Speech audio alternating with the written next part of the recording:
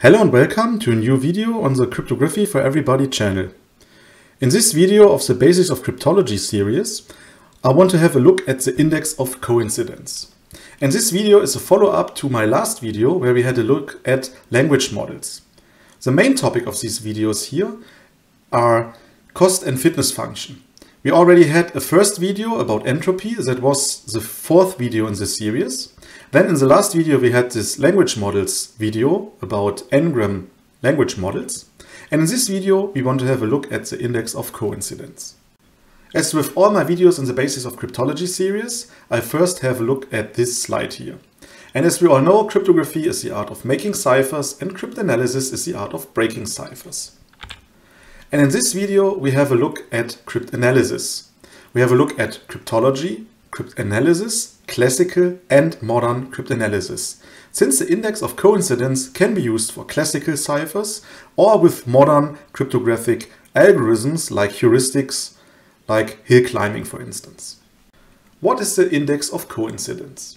The index of coincidence, or abbreviated IOC, is a statistical value and it is a probability that two letters randomly drawn from different positions of a given text are the same. What that means we will see later on. We will have an example where we will calculate the index of coincidence of texts.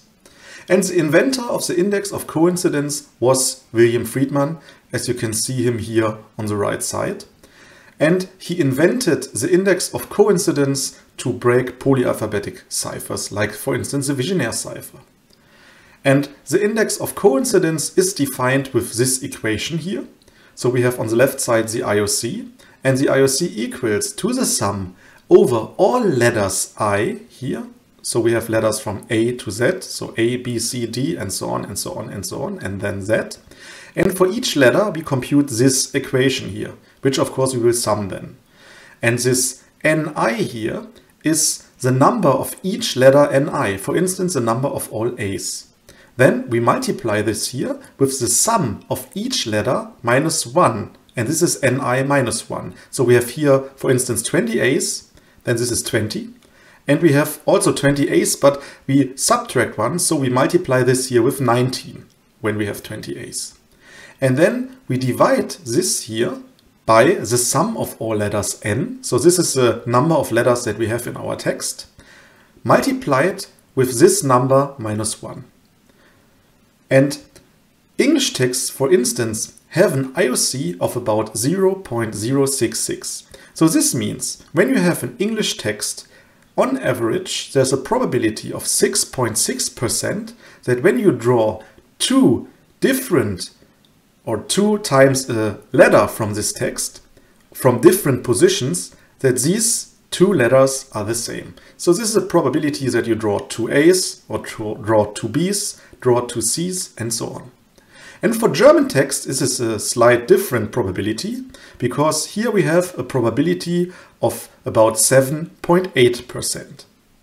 And you can calculate the IOC for different languages and each language will have its own IOC value. And how do you compute the IOC for a language?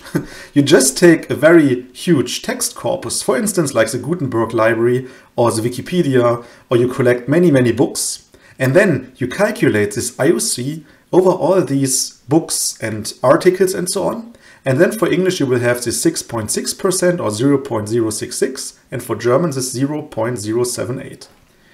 Now there's an interesting property of the IOC for random texts. Because for random texts, we have an IOC of about 1 divided by the number of letters in our alphabet. Now let's assume that we have the Latin alphabet from A to Z.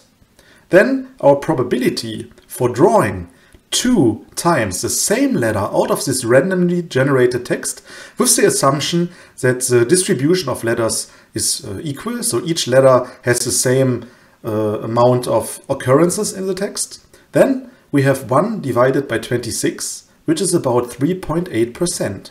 So we can use the index of coincidence, in fact, to differentiate between German, English, uh, English and German, and random. And so the index of coincidence helps us to identify if a given text is closer to language or closer to random. Because when our index of coincidence is close to the 0.038, we know, okay, this text here is closer to random. That means it is encrypted, for instance. And if we have an IOC of 0.066 or close to this, we can assume that this is an English text. The funny thing now is that doesn't mean that the text is not encrypted. Let's assume we have a monoalphabetic substitution where we replace each letter by another one, for instance, like the Caesar cipher.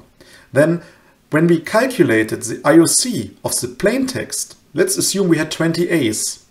Now, in the encrypted Caesar cipher text, the A is for instance replaced by an X. Now, X occurs 20 times in our text. So we change only the positions of the numbers of our letters, but not the distribution itself. So the IOC for a monoalphabetic encrypted text is the same as for a non-encrypted plain text. So the IOC cannot differentiate between a monoalphabetic substitution and plain text. And same applies to a, transpose, a transposed text. When we only changed in our text the order of the letters, so we transposed our text, the frequencies, the unigram frequencies, so the occurrences or the numbers of our letters doesn't change. So this means that also a transposed text has the same index of coincidence as plain text. So we can only differentiate between plain text and monoalphabetic substituted text, which are which give us the same IOC, and polyalphabetically encrypted text, because with polyalphabetic substitution, we also change the unigram frequencies. Now let's talk about what actually the IOC can be used for and for what Friedman used it. So the IOC was, as I said, invented by William Friedman, and William Friedman used the IOC in the so-called Friedman test to determine the key length of a polyalphabetic substitution cipher, for instance, the Vigenère cipher. How this with the Friedman test works is not part of this video, but it was the first time, or Friedman used it for the first time to determine the key length of a Vigenère cipher, and he used it IOC for that. And today, we use the IOC also, but we use it as a cost or fitness function in modern heuristics for instance to improve our putative key during, for example, hill climbing. So we randomly choose a key, we compute or we decrypt our plain text, then we compute the index of coincidence of this decrypted text, and then we can change our key and again decrypt the text and also again compute the index of coincidence. And then we can compare of if our index of coincidence came closer to an IOC of the assumed language, for instance English. And that's what we have here. The closer the IOC of the current decrypted plaintext is to the IOC of the assumed language, the better you can say is our key. And in the end, the one final correct key should have the IOC closest to the IOC of the language. Of course, this only applies, or this more applies to longer text. So the, the more le uh, letters you have in your text, the better the IOC performs. So in fact, when we implement hill climbing for different cryptanalysis methods, for instance, for the Vigenère cipher, we, we rely on language statistics like unigrams, bigrams, trigrams, and so on, and not on the IOC. But there are some cases where you cannot use these language statistics, and there the IOC can be used. The IOC can be used when other statistical values can't be used. And I have two examples here for that. The first one is the ADF GVX cipher. You should have at first a look at a video that I made about this when you don't know the ADF GVX. But the ADF GVX consists of two encryption types. You have first a substitution cipher that substitutes our letters. And then we have a transposition that also um, cuts our bigrams that we substituted into different pieces. And now we can use the index of coincidence to first solve the transposition that was used after the substitution. Because when we improve our transposition key of the ADF-GVX cipher, we come closer to the IOC of the language that we assume was used in the plain text. But for the ADF GVX, in fact, you have not to use the index of coincidence on a single letter or on single letters. You can also use the index of coincidence on bigrams. So instead of here you counting unigrams, you can count the bigrams of a language and you can also compute the IOC of a language for bigrams. And then, for instance, with the ADF GVX cipher, you can use the IOC on bigrams to actually break the substitute, uh, the transposition cipher. And then, when you broke the, sub, uh, the transposition cipher of the ADF GVX, then you only have a monoalphabetic substitution cipher left that can be easily solved with other techniques. And then, as another example where we use the IOC is the Enigma machine. The Enigma machine uses a plugboard and rotors. The plugboard is only a monoalphabetic substitution cipher. And the rotors create a polyalphabetic substitution cipher. So we can use the index of coincidence to break the encryption performed by the rotors without analyzing or breaking the substitution that was done by the plugboard, which is only monoalphabetic. So you can use the IOC with some ciphers to create so-called divide and conquer attacks, where you first break the one cipher that was used and then the other type of cipher that was used. So the IOC is really a powerful tool. Now let's have a look at an example calculation of the index of coincidence with an example text here. So I copied an example text here from the English Wikipedia, and this is a text about text, but the content of the text is irrelevant for us. We want to just compute the IOC. This text has a number of 341 letters. That is our n in our equation. And then what we have to do is we have to count each letter and how many times that letter occurs in our text. So for instance, the A we have 23 times, the B 5 times, the C 11 times, and so on. And you do this for all the letters in your text. Then we compute our IOC. You remember this is a huge sum, and this is a huge sum, and each of the uh, operands of the sum individually. So this is here for the A. So I colored this in this uh, red color here. So we have the 23 A's. Then we multiply it with 23 minus 1, that is 22. And then, then we divide it by n, that is 341, multiply it with 341 minus 1. We can also think of this here as we multiply the probability of drawing an A and then multiplying this with the probability after we've drawn an A with the probability to draw an A again. So we have 23 A's here. So we have 23 possibilities in this text to draw an A, all these reds A. And then in total we have 341 letters. So we have 23 divided by 341 for the first A. Now let's assume we have drawn this A here. What is the probability now to draw a second A? The probability is of course 22 because this A we are not allowed to draw again, but we could draw this or this or this or this and so on. So we have 22 different A's left or other A's left, that's this number here. And of course, since we have drawn one letter out of the complete text, we cannot divide by 341, we have also to decrease the number of letters that we have in total. And this is how one of these operands here work. Let's do the same for the B. We have five B's, I didn't color this in the text, but in the first time we can draw five B's out of 341 letters. Now let's assume we have drawn a B, so we have only four B's left, that's a four. And we reduced our text where we can draw of another B also by one.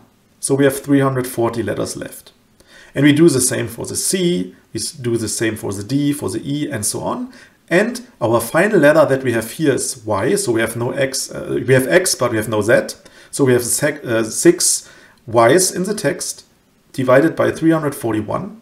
And then when we have drawn a Y, we have 5 left and we divide by 340.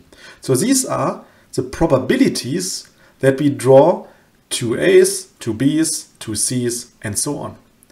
And to get the probability that we draw any two equal letters, we have to add all these. And this is why we have this sum around these uh, operands here. So we add the probability of A plus the probability of B plus C and Z. And in the end, for this English text, we get an index of coincidence 0.071 and something. And this means that the probability when I draw two random letters out of this text here being the same is about 7%. So we are close to the English IOC. But you can see that with, this, with such a short text here, we of course do not hit exactly the IOC of the English language. And in fact, this rarely happens, but with longer texts, we also get closer to the original IOC. But nevertheless, the IOC is, let's say, good enough to help us and to give us an indication if we have a monoalphabetic or polyalphabetic encrypted text. So now let us have a look at the index of coincidence in CrypTool 2. We have an implementation of a cost function component and this cost function component also implements the index of coincidence. And I want to compute also the index of coincidence of the text that I have shown you previously. I'm here now in CrypTool 2 and I want to show you how you can compute the index of coincidence of a given text. And to do so, you could just search for cost functions and then you have a template using or showing cost functions. But I want to create it on my own. So I go here to new and we do not need much. We need a text input into this text input, you paste your text. So this is a 341 characters or letters long text that I have also shown in my slides. And this, yeah, this can be text input. And then we search for cost function and drag and drop it onto the workspace. The cost function uses or needs a byte array input, but you can also connect the text input with the byte array here. It will give you a warning, but it will implicitly convert from text to byte array using UTF-8 or assuming UTF-8 was used in this text. UTF-8 is a text encoding and this is fine for us.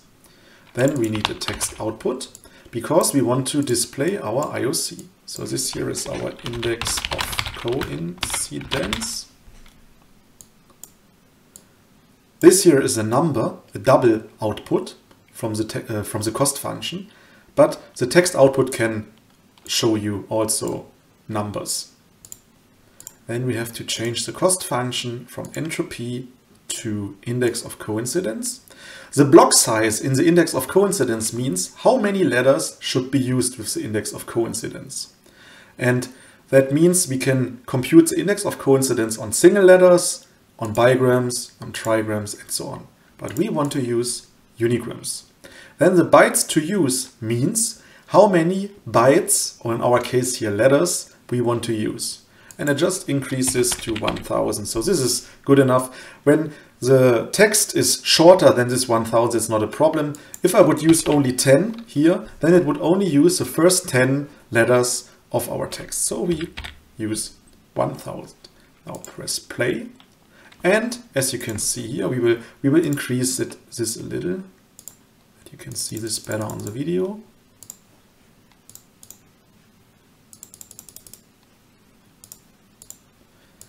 And now you can see here that our text that we also have seen on my slides has an index of coincidence of about 0.071 and so on. So this is how you can compute the index of coincidence using this cost function. Now let's have a look at the index of coincidence of block size 2, so for bigrams.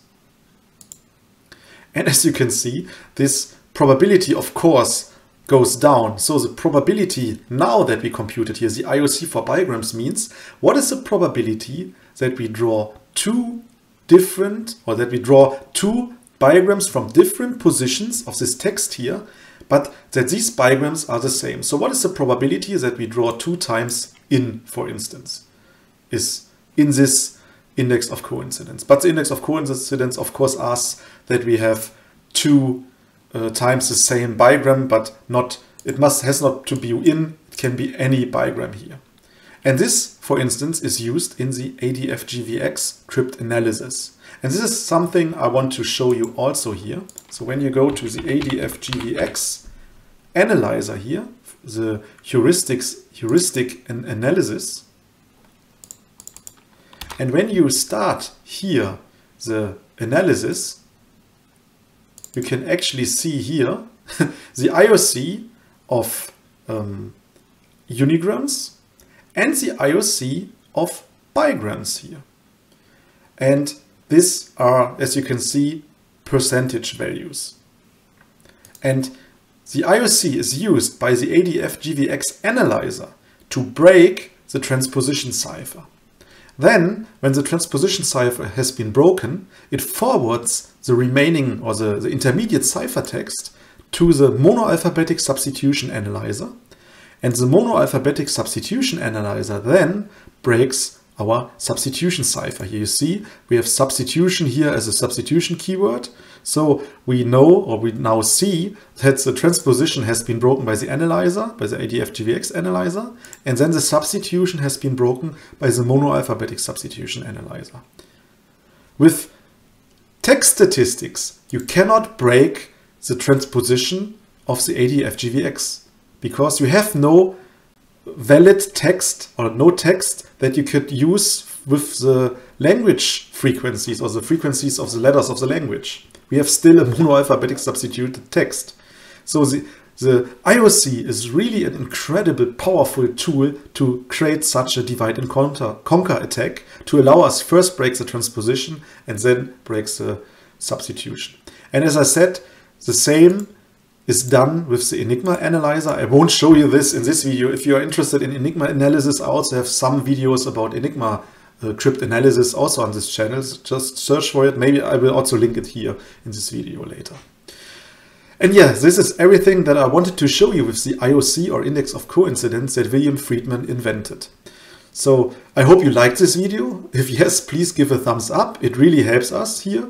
If no, you know what to do, give a thumbs down. Also, consider subscribing the channel if you did not yet do so. And also, maybe you could also enable the bell that notifies you when I upload new, new videos. Then you can have a look at my new videos directly when they are uploaded. Yeah, so thank you very much for watching and see you in the next video.